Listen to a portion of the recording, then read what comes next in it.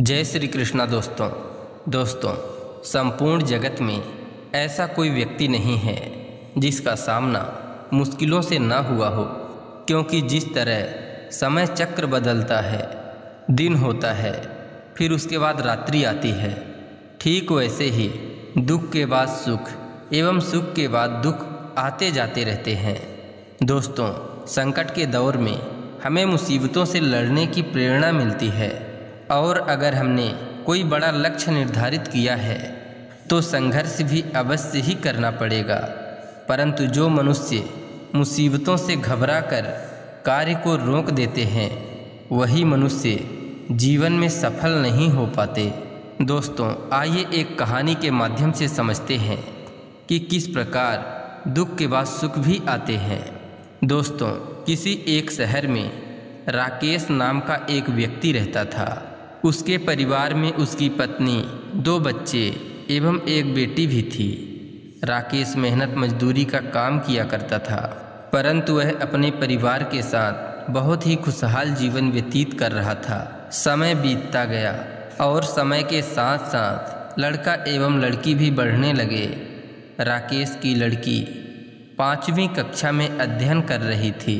एक दिन विद्यालय से छुट्टी होने के बाद जब राकेश की लड़की अपने घर जा रही थी तो किसी दूसरी लड़की ने उसे सीढ़ियों से धक्का मार दिया, जिस वजह से उसके पैरों में चोट लग गई।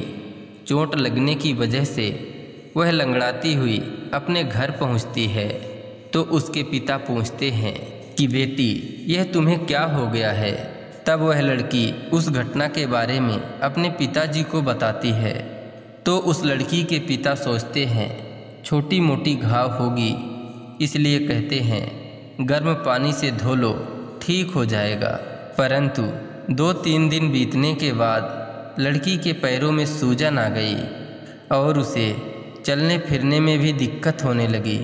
तब राकेश गाँव वालों के कहने पर अपने बेटी को एक ओझा के यहाँ लेकर गए और ओझा कुछ जानता भी नहीं था। उसने झाड़ फूंक चालू कर दिया, परंतु पैर ठीक नहीं हुआ।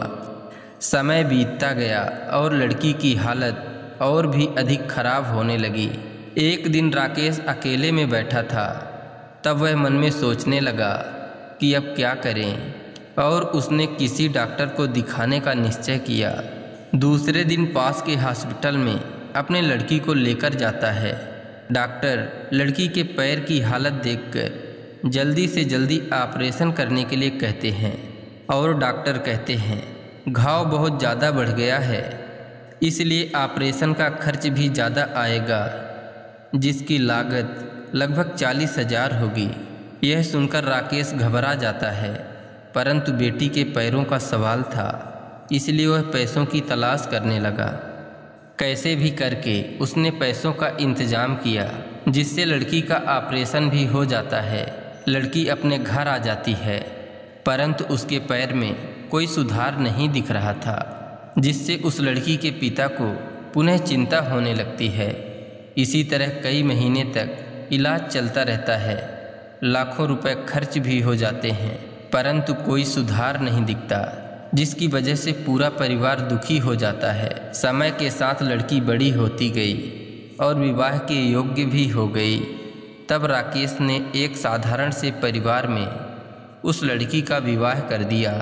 वह लड़की भी नए परिवार के साथ खुश थी। लड़की के जीवन में एक बार पुनः खुशहाली आ गई।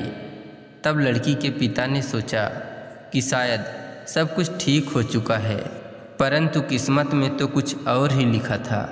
एक दिन वह बाज़ार जा रहा था तो किसी बड़े वाहन से उसका एक्सीडेंट हो जाता है। जिसकी वजह से सिर में बहुत ज़्यादा चोट लग जाती है और राकेश एक माह तक बिस्तर में ही पड़ा रहता है। एक महीने के बाद ठीक होने पर वह सोचा, शायद अब सब कुछ ठीक हो जाएगा। तभी उसकी पत्नी का स्वास्थ्य धीरे धीरे खराब होने लगता है। डॉक्टरों को दिखाने पर पता चलता है कि उसकी पत्नी को गंभीर बीमारी हो गई है, परंतु राकेश को पूर्ण विश्वास था। कि हमारी पत्नी ठीक हो जाएगी। इसी विश्वास के साथ वह दवाइयाँ करवाता रहा, जिससे उसकी पत्नी के स्वास्थ्य में सुधार आ गया। दोस्तों, इसके बाद राकेश के परिवार से पुनः दुख के बादल छट जाते हैं और वह खुशी खुशी जीवन व्यतीत करने लगता है।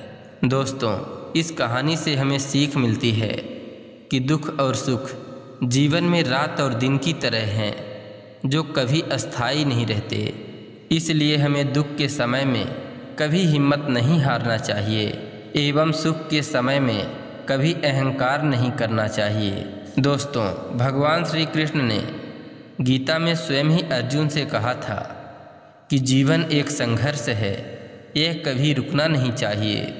दोस्तों, आशा करते हैं यह कहानी आपको अच्छी लगी होगी।